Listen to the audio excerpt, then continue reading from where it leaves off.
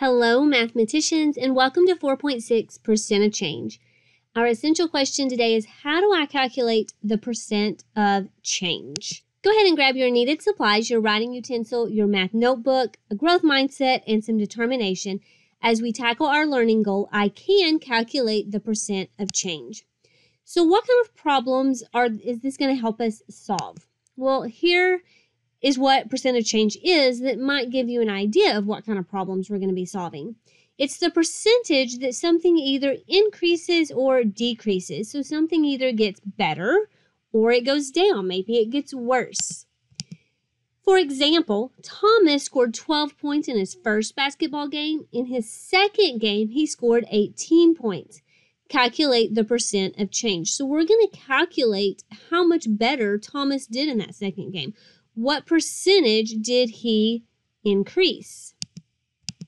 We have a formula, and it is the amount of change divided by the original amount. And we take all of that, so we're going to put it in parentheses, and that's going to give us a decimal. So we're going to multiply that by 100 to get our percent because we know percent means out of 100. So here we go. Here's our problem back. Thomas again scored 12 points in that first game, 18 in the second. We're going to calculate the percent of change. So step one is to find the amount of change. What's the difference? How much did his point change? Well, in this case, they went from 18 to 12. And then we're going to divide that by the original, the very first points he scored, which in this case is 12.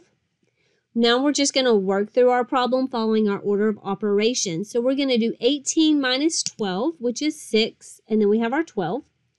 Now we can do 6 divided by 12, which is 0.5. Multiply that by 100, and we get a 50% increase because if you go from 12 to 18, that's increasing, that's getting better.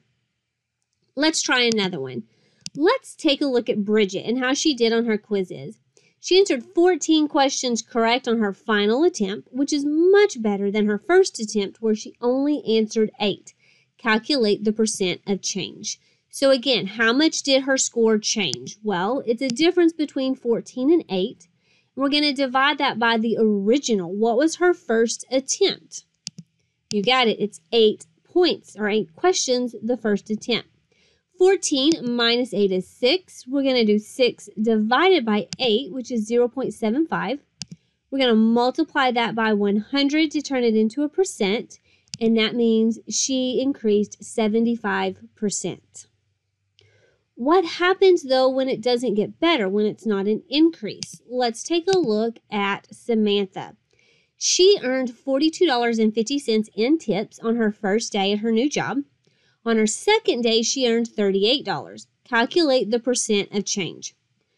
Everything's going to be the same. We're still going to find the amount of change. What's the difference between 42.50 and 38? And we're going to divide it by the original number. Her tips on that first day, which is $42.50. $42.50 minus 38 is four and a half. Divide that by $42.50. It is a very long decimal. I've chosen to round it here, 0.1, or cut it off rather. I didn't round it.